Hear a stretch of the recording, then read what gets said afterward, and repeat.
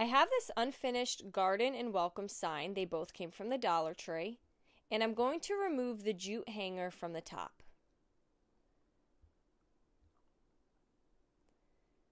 I'm then going to take some chalked Rust-Oleum spray paint in chalky white and I'm going to spray paint the letters. Of course, you could just paint them regularly with a paintbrush. I wanted my base coat to be white, so I just thought it would be easier just to spray paint it all. Once that dried, I then took a paintbrush and a very small amount of paint, and I'm going to dry brush onto the detail on each of the signs.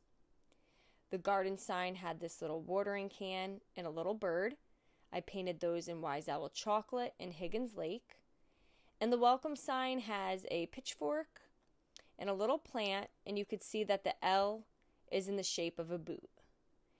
And I'm also going to dry brush some chocolate onto those, and then the Joshua tree onto the plant. Now you could pick any colors of your choice. Paint products can be found over at chalkitupfancy.com. I have this board and I'm going to take my General Finishes Antique Walnut Gel Stain and a foam gen brush. You could find these at the hardware store. And I'm going to apply stain to the entire board. And then I just rub it in with a napkin or a paper towel. I have these letters. These come from Hobby Lobby, and I'm going to spell to my. And I'm going to spray paint them as well so that they match the other two signs. Once everything is dry, I'm going to place them down and I'm moving them more toward the left so that we have a little area on the right that is still open.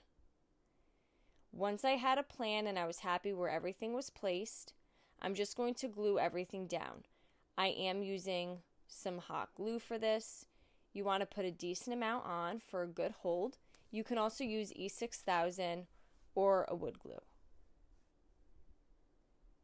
I put the garden on the bottom and the welcome on the top. And then after those two were placed down, I then took the two and the my and I glued them in place. I'm going to dry brush a little bit of goldenrod onto the two and the my.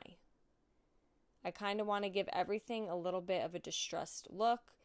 You can go with more detail by adding more color to these signs. It really comes down to your style and what's going to match your decor. And then I went up to the welcome and I dry brushed onto that as well. I decided to go in with a little bit of Bowie, which is like a navy blue. And I added that to the watering can and also to the flower pot.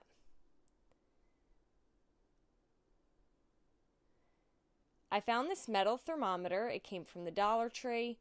I love the design on it. It had a beehive and some bees and some flowers. And I'm going to take some E6000 and add it to the back of the metal thermometer. And then I'm going to place it on the right side of all the words that we placed down onto the board.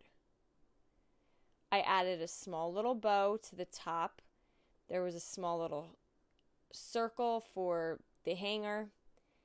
And there you go. Now we have this Welcome to My Garden door sign. I hope you enjoyed it. Thank you so much for watching. Paint products, tissue paper transfers, mesh stencils, and wood cutouts can all be found at chalkitupfancy.com. Have a great day.